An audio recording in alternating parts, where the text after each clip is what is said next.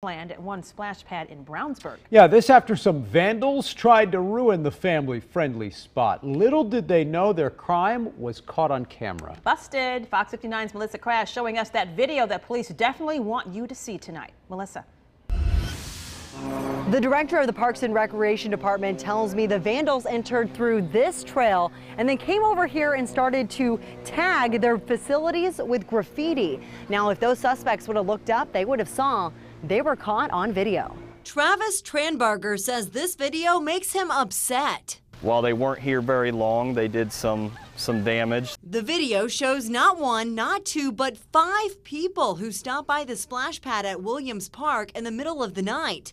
They left quite the mess hours before opening day. Significant orange paint around some of our features, and then, as you can imagine, um, some profane language and graphic images that were not only spray painted on the splash pad area, but some of our other facilities around signage and trails, our restroom facility behind us. Tranbarger says it may seem like just a little spray paint, but the impact is much larger. They don't want to see graffiti all over everything. Families rely on this free entertainment during the summertime. It's been, you know, one of our spots.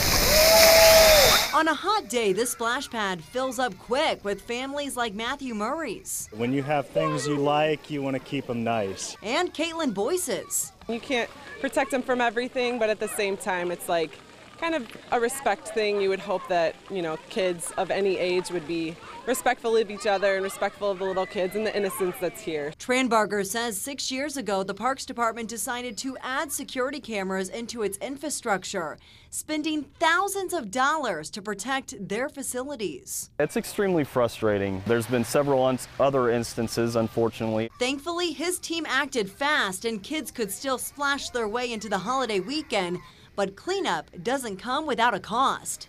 It's pretty good stuff, but it, it is rather expensive. If you know anything about this crime or recognize the suspects in the surveillance video, please call Brownsburg Police.